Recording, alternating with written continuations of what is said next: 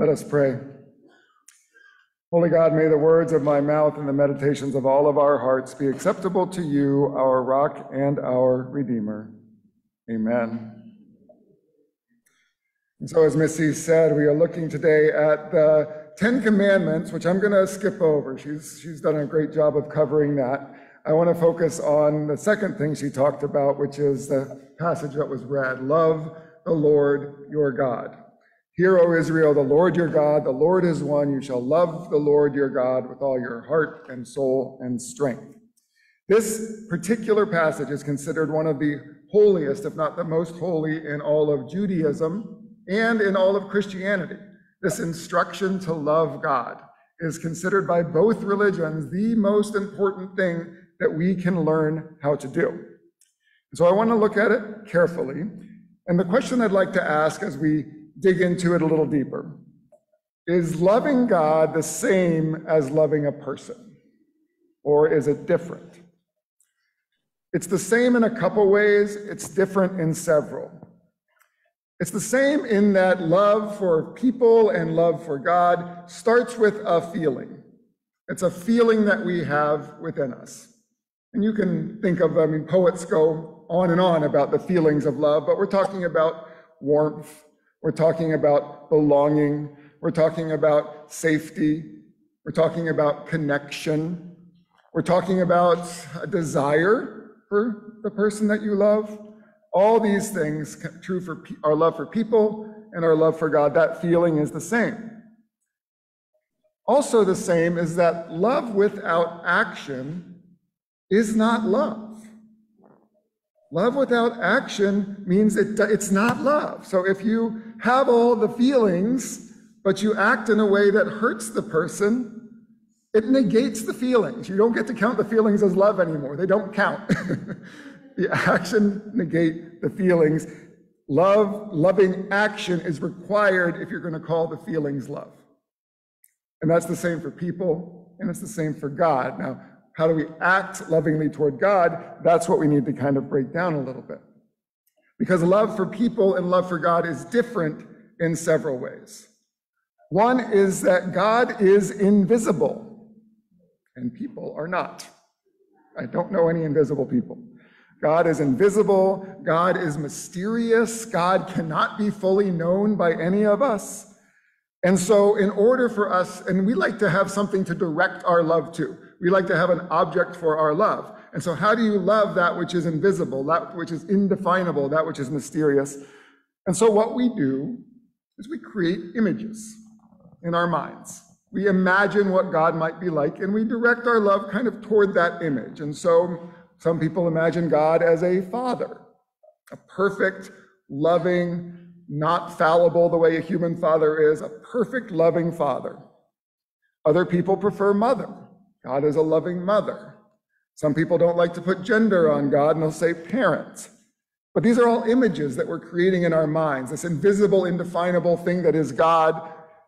What's, an, what's a way that we can put a handle on that and direct our love toward it? Creator, some people will say universe. Some people say God is the universe, God is all that is seen and unseen. And then Christians, many Christians, will say, Jesus is my image of God.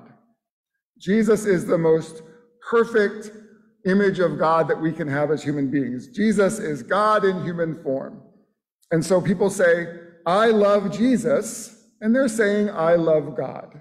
I love the way Jesus acted in the world. I love the things he taught. I love that he died and rose from the dead. And that to me is the most tangible expression of God that I can think of. I love Jesus. All of those are actually fine. If they help us to give us a direction, an object to get that love in our hearts moving toward the divine, it's great. We also have to be a little careful with the images we get some pretty strong warnings in the Bible, including in the Ten Commandments, about these images, that we can love the image more than what the image represents.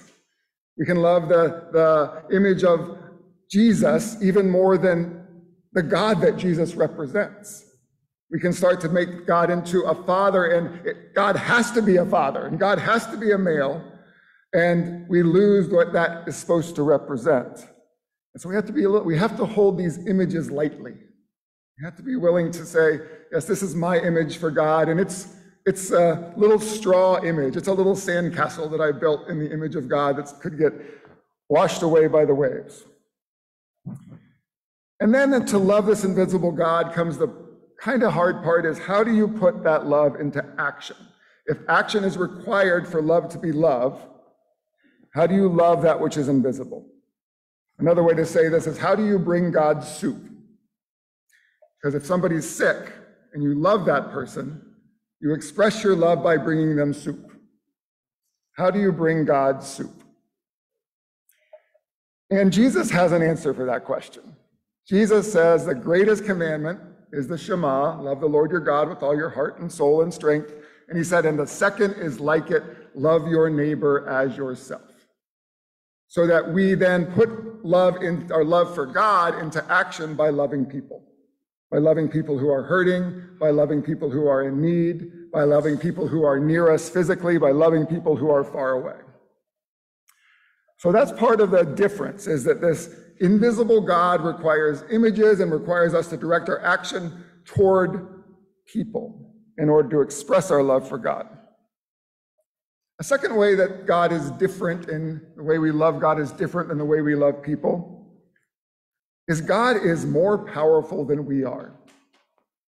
And people in loving relationships should not be more powerful. I mean, yes, you can have a child and a parent, and there's a power differential there. But even then, you really are just two human beings who are trying to love each other uh, with the roles you've been given. But in general, the love that we have for people is love between equals, whether it's our spouse or our siblings or our neighbors or our coworkers. The love we have for God is a love for whatever God is and it's more than we are. It is transcendent. It is powerful. It has the power to create and destroy life, this thing we call God. It has the power to know us, to know our every thought, our every feeling, our every action, our future, and our past. How do you love a God like that? How do you love a God that is more powerful than you? And one thing we have to start with is we must determine if that God, that most powerful, all powerful God, is trustworthy. And you'll find throughout the Old Testament in particular that they spend a lot of time establishing that God is trustworthy. God is faithful. Even though we see a lot of suffering in this world and bad things happen to us, the people of Israel, God is faithful to us. God is trustworthy. God is good. Even this God that has the power to destroy as well as create. Even this God that seems to withdraw from us sometimes and be hard to reach. This God is trustworthy and this God is good. And then come some words that we don't like in this society. Because using these words to describe a relationship with people is fraught with danger. But if we use these words to describe our relationship with God, it opens up a whole new world for us. Words like submission, obedience, discipleship.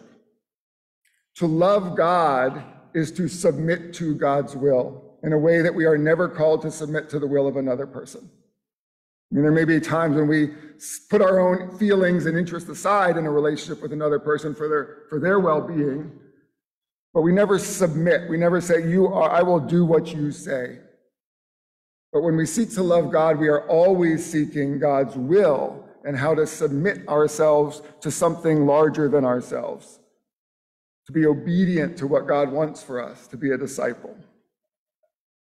I think the, the relationship that might be the best description of this for me is a apprentice to a master in some kind of craft. We saw this, an, an example of this a couple weeks ago. My wife and I, we were at the Renaissance Festival, and they had a glass blowing exhibit, and they did a demonstration. And there was sort of the old, wise glass blower who talked through the process of glass blowing. And then there was the apprentice who was pretty, looked like a master himself, but he was a you know, a grown man. He wasn't sort of like a little boy. But he was the apprentice learning under the master. And he did all the work. He created the creation in front of us in half an hour from this glob of molten glass to this beautiful vase. And what the master did and the presenter said, I don't know what he's going to create. He's learned from me. He's learned all the skills. He's learned about the tools. He's learned about the procedures and the process of making this vase. But I don't know what he's going to create. And I'm going to be figuring, I'm going to see what happens the same as you are. And I bet I'll figure it out partway through and you won't know. But I don't know. He's the creative, he, he has the creative freedom to do what he wants. I wonder if that's like our relationship with God, that we are an apprentice and we are trying to learn the ways to live a good life, the methods, the tools, the procedures, the skills, through habit and through practice. We're trying to learn how to create this good life. And God gives us the freedom to do that how we want to. God's not going to tell us what to do, but God is teaching us all along the way how to do it. And in order for us to be a good apprentice, you really do love the master. It's not just like you are going to tell me, you know, the things I need to do, and it's going to be a, tra- a transaction of information, because I can do get that from a book. I need to love, we need to love this. An apprentice loves a master in a, in a different kind of way, trust the master to impart this knowledge and the wisdom. So that's different. God is more powerful than us, God is invisible. Third, and this goes with God being invisible, we need reminders to love God. When we love a person, you get the reminder every time you see the person. I'm supposed to love this person. Maybe it's easy, maybe it's hard, but the person is there in front of you, and you have reminders by their presence. God is invisible. And so, in our passage this morning, when it says, Love the Lord your God with all your heart and soul and strength, it says, And these are all the ways that you have to remind yourself to do that every day, because you are going to forget. And so, uh, there, there are the post it notes that it talks about. And this is uh, put the, this, this law to love God on a little scroll on a doorpost above your house. So you'll see it every time you enter and go in. It's called the mezuzah in Judaism. And if you go to into a Jewish home, you're probably going to see that on the doorpost. They still do that today. They still say this prayer when they wake up and when they go to sleep every day. Sometimes more observant Jews or conservative Jews will, as it says, put it on their wrist, a little scroll with love the Lord your God. Sometimes they'll put it on their, literally put it on their forehead. These are the post-it note reminders to love God. You know, I, I had this sticker once, and I, I love this sticker. I was like, I'm going to put it on every mirror in my house. It said, um, warning, images in this mirror are distorted by cultural um, understandings of beauty. so I put it, I put that on every mirror in our house. Don't see it at all anymore. It's just like it's not even there, you know, and that's how you, what you do when you put post-it notes on. So the other way that we try to ingrain reminders about the need to love an invisible God is through our habits, through the ways that we make ourselves and train ourselves to do the same things over and over again. And so these are our prayer practices. These are the prayer we might say when we wake up or when we go to sleep or when we have a meal or when you get in your car. That's always a good time to stop and say a prayer when you get in your car. Greeting people, can we make a habit out of the way that we greet people so that we always greet people with kindness, so that we always try to remember their name, so that we always say something positive about them? Coming to church on Sunday is a habit that helps rem- remind us that we need to love God every day, and doing that as a habit every Sunday. Our giving to those who are in need, to the church and to those who are in need, is a habit that we reminds us of our need to love God. And then maybe the hardest one is teaching others. That comes up in the text. Teach this commandment to others. So are we teaching to others the importance of loving God? And of course, unless it's a parent-child relationship or a Sunday school teacher or whatnot, you're not going to be like going up to your coworker and say, let me give you a little lesson on loving God. You, you try to embody that. You try to embody a love for God, which brings us kind of back full circle to love as a feeling and love as an action, and you love God by loving people.